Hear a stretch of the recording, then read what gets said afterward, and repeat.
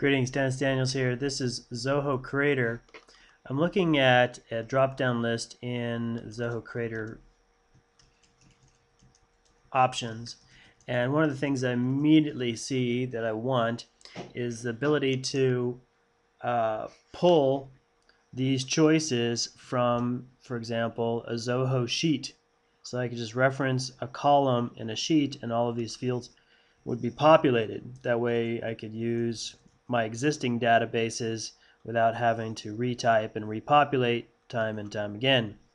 Uh, barring that, just being able to copy and paste text fields, um, single line text, or an Excel spreadsheet column or something into this so that I don't have to fill out dozens of individual drop downs.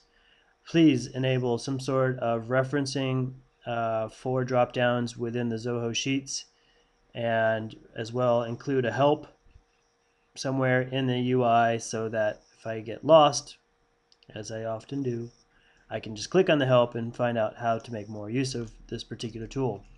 Thank you for watching and happy computing.